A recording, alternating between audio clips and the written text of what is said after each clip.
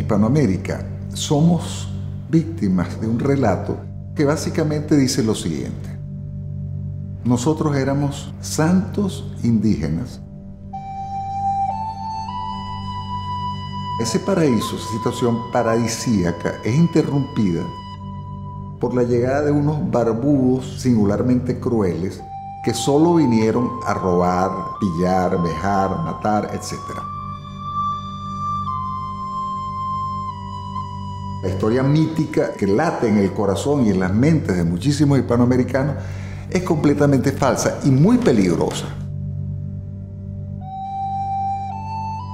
Quito quizás es el mejor ejemplo en ese sentido, porque España vino a saquear, pero sin embargo tenemos una ciudad maravillosa, llena de riquezas, que demuestra lo contrario.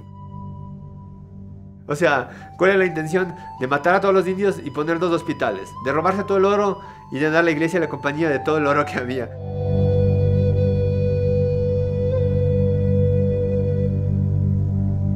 España vino a América a reproducirse, a generar nuevas Españas, a hacer lo que llama Gustavo Bueno, un imperio generador. Este fenómeno creo que no se ha dado jamás en la historia de la humanidad. Tú en 50 años tienes un grupo inmenso de gente que viven en ciudades, cuya lengua franca es el español, y que su propio entendimiento del mundo es diferente. Hasta el momento en que los españoles llegan a América, cada continente tenía su raza. Aquí ya todo el mundo se mezcló con todo el mundo.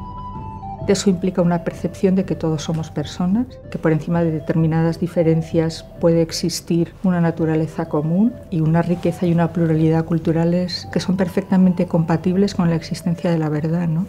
La verdad no uniforma, la verdad une, que es distinto. Algo muy bonito el venir nuevamente a ver a la Virgen y agradecer que estamos bien. Porque la fe de la Virgen de Guadalupe mueve montañas. Hispanoamérica tiene tres figuras femeninas tutelares. La Virgen de Guadalupe como figura femenina protectora. Isabel la Católica que da la igualdad, la dignidad. Y con la Malinche tenemos el puente. Papel de Doña Marina es fundamental porque es ante todo una traducción cultural y política entre dos mundos que se encuentran. Entre este arco y la pared del fondo se asignó una tumba para la familia de Atahualpa. Y era comprensible, el crucero de la iglesia se da a las élites y los Atahualpa estaban dentro de la élite social. Si son súbditos libres de la corona, deben ser bien tratados. Isabel fue una mujer muy visionaria. A finales del siglo XV la esclavitud era legítima en Castilla y sin embargo unas islas y tierra firme que no se conocían abre la posibilidad de un mundo nuevo.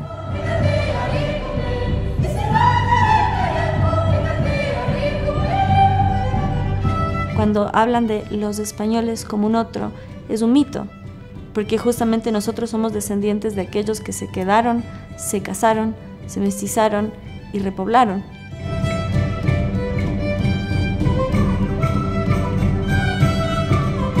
Nosotros, los hispanoamericanos, e incluyo España, nos desconocemos y lo poco que conocemos no nos parece bueno. Si nosotros nos conociésemos de manera suficiente, palparíamos la realidad de nuestra comunidad.